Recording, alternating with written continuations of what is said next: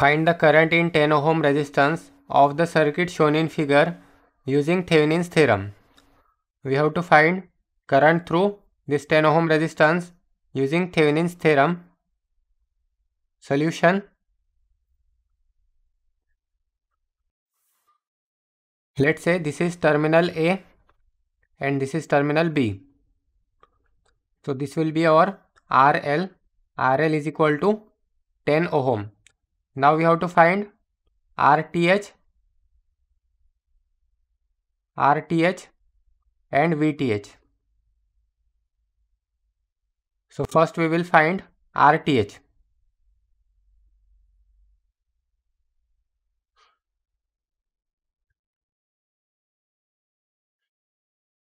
To find RTH, turn off all sources.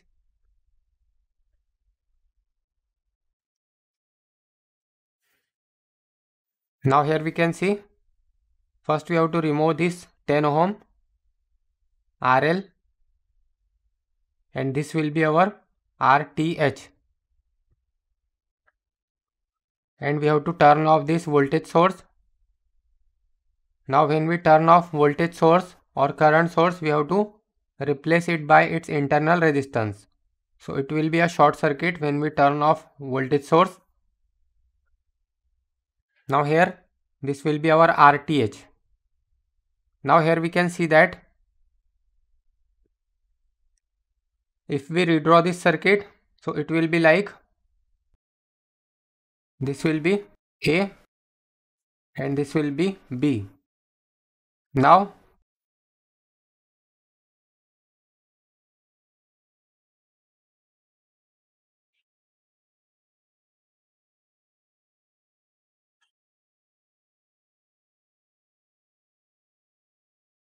it will be like this. If we stretch terminal A and B then this will be like this. And also these are connected like this. So here we can see this is 60 30 so this will be 60 ohm, 30 ohm, this will be 50 ohm, 50 ohm and 20 ohm. Now here we can see that the 60 ohm is in parallel with 30 ohm. So 60 ohm parallel with 30 ohm and they are in series with 50 ohm parallel with 20 ohm 50 ohm parallel with 20 ohm so this will be 60 into 30 divided by 60 plus 30 then plus this will be 50 into 50 into 20 divided by 50 plus 20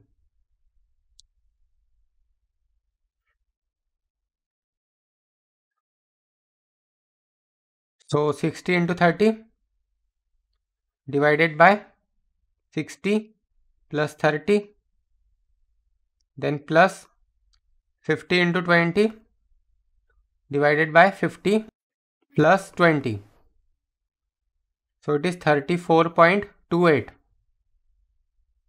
34.28 ohm. So therefore RAB is equal to RAB is equal to RTH. RAB is equal to RTH is equal to 34.28 ohm. This is the value for RTH. Now next we have to find VTH.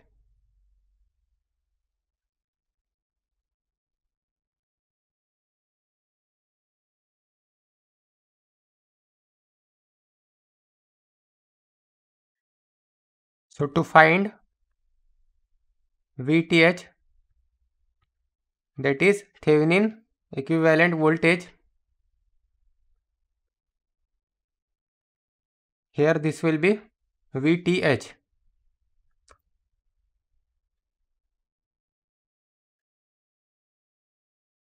VTH this is node A this is node B. Let's say this is node C and this is node D. Now according to the polarity of this voltage source let's say this is current I1 and this is current I2 now according to the direction of this current I1 this will be positive this will be negative. Now here this will be positive and this will be negative. This will be positive and this will be negative. Now let's say this is mesh 1 with current let's say with current I1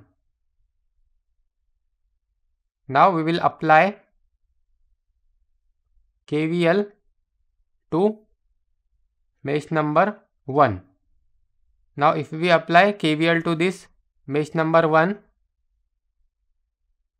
so let's say we will start from this point. So this will be this is not current I1 this will be only mesh number 1 now if we apply KVL to mesh 1 and we start from here so this will be plus 30 I1 so 30 I1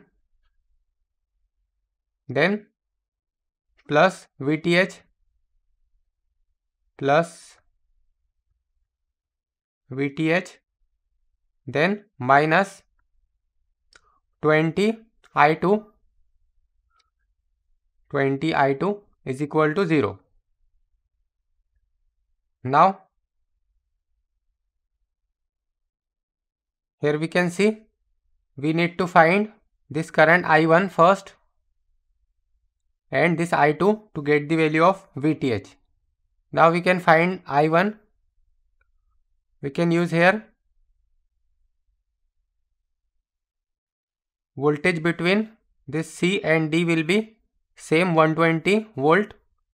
So I1 is equal to V by R. V will be same 120 because it is connected in parallel. So 120 divided by R.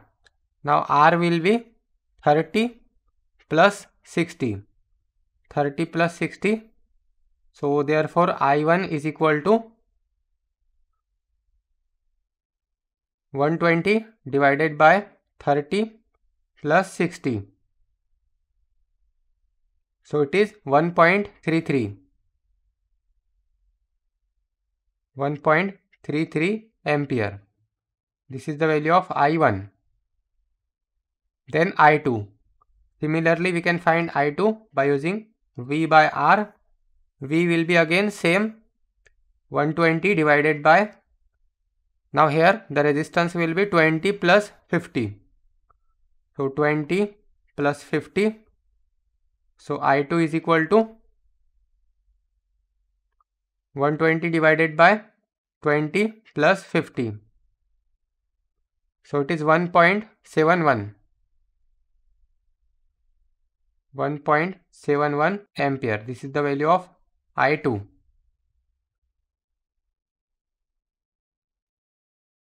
Now we can substitute this value here in this equation. So we can find the value of VTH. So this will be 30. The value of I1 is 1.33 then plus VTH as it is minus 20 I2. Now I2 is 1.71 is equal to 0. So this will be 30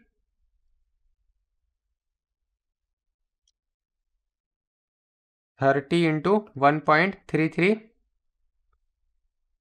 then minus 20 into 1.71 20 into 1.71 so this will be 5.7 5.7 plus VTH is equal to 0.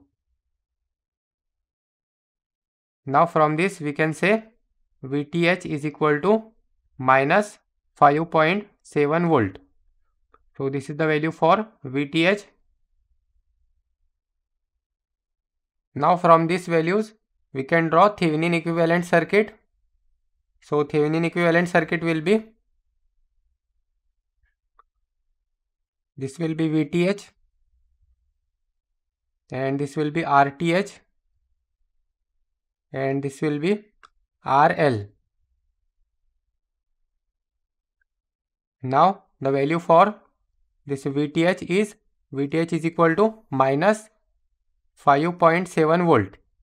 The value for RTH is 34.28 ohm. 34.28 ohm and this will be RL and RL is 10 ohm. 10 ohm and this will be IL